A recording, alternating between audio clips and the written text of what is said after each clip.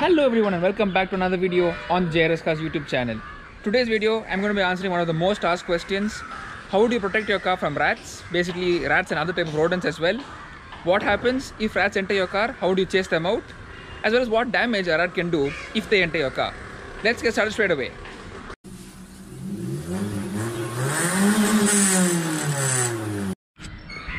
Right guys, so why are people so scared of rats? I mean what damage can a rat do to your car? Well for starters, in my Ford Icon as you can see over here, this uh, vacuum hose over here, well yeah, a rat bit it once and that had to be replaced. Now these wires over here, these rubber hoses, well anything rubber, plastic or whatever chewable or chewy, that depends of course on the appetite of a rat, they can eat it and that's going to cause you problems. For my car, it was quite cheap. It was only a few hundred rupees. For a BMW or Merc, it's going to be a few thousands. And for a Rolls Royce or Bentley, it's going to be a few hundred thousands. So you get the point. Rats in your car, especially in engine bay, are not a good idea.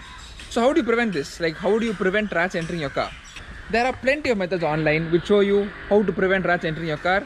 Well, among those, the two most effective are what I'm going to show you right now. So the first and most effective one is pohilai or tobacco leaves. So basically it's available in these small potikadas for like 10 or 20 rupees. You guys get a bunch of it and the first thing is you do not just spray it over here on the engine bay. That's going to cause a fire hazard.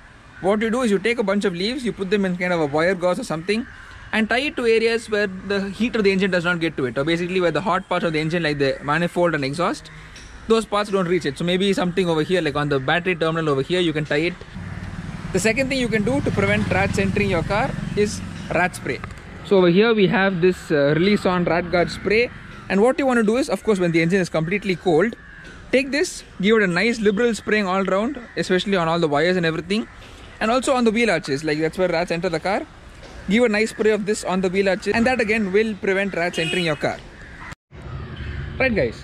So now i've told you what happens if a rat enters your car what damage it causes and how to prevent that happening.